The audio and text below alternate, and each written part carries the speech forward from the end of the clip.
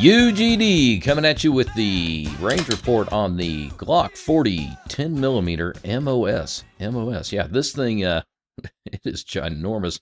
And, and, to give you a quick rundown, six inch barrel. Uh, this thing is almost over nine inches long. It is designed to be a comp gun. It's got the MOS system, which is this plate right here, which you can remove and drop your optics on it. Uh, 15 plus one, yeah, 15 plus one. Look at that, a 10 millimeter. That is absolutely insane.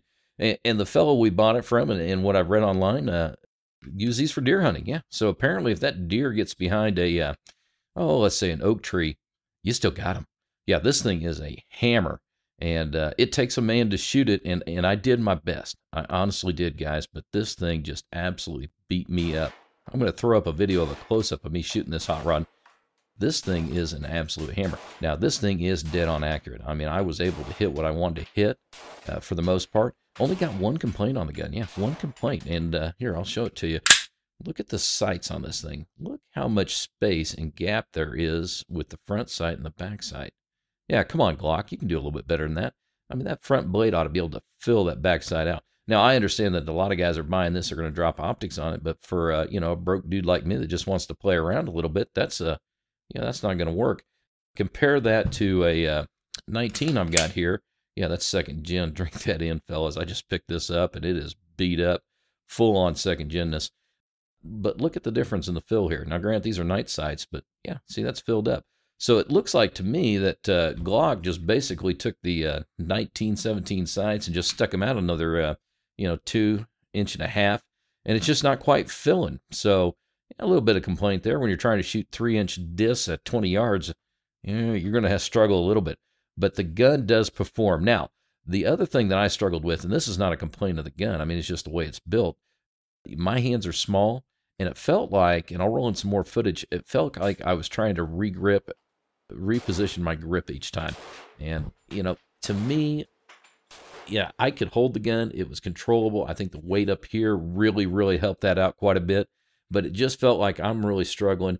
And that's not a complaint of the gun because it is a 10 millimeter. It does take a man. I've got little girl hands, so yeah, it's not a gun problem. That's a that's a UGD problem right there. But all in all, this hot rod is just super cool.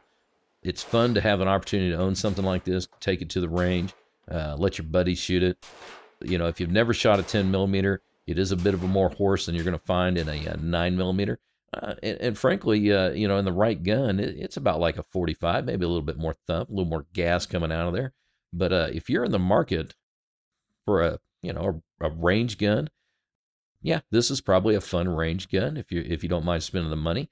Uh, if you're looking for something to go hunting with, absolutely, this is a deer slayer if I've ever seen one. Comp gun, you know, if you can handle 10 millimeter in competition shooting, uh, go for it, my man. But I think there's one area that this thing really would serve well at, and that is uh, home defense. Yeah, if you're choosing to use a pistol for home defense, uh, you know, you just can't beat that capacity. 15 plus one at 10 millimeter. You throw some, uh, let's say, some Liberty in there. Uh, you've got a scorcher coming out of that barrel. Plus, you've got your rail down here. You can add your light. So, I don't know if you could do any better than that for a, a 10 millimeter home defense gun. So, this is UGD bringing you the range report of this hot rod.